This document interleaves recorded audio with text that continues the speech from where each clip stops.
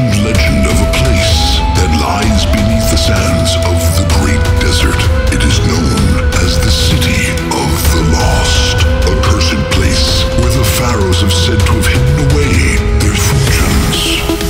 If you seek to unlock its treasure, be wary, for you might unleash great evil upon the world.